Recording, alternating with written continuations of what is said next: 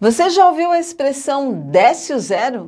Pois é, você pode usar em uma conta de multiplicação, por exemplo, onde um dos fatores, olha, termina em zero. E como que você pode fazer? Na hora de armar esta conta, você vai pegar o outro número, no nosso caso aqui o 35, e vai multiplicar então por 200. E aí, para facilitar, o que, que você faz? Não precisa fazer 0 vezes 5, 0, 0 vezes 3, 0.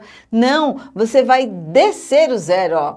Desce o zero, desce o zero, já aqui no resultado. E calcula a multiplicação agora com 2. 2 vezes 5, 10. Vai 1, 2 vezes 3, 6, mais 1, 7.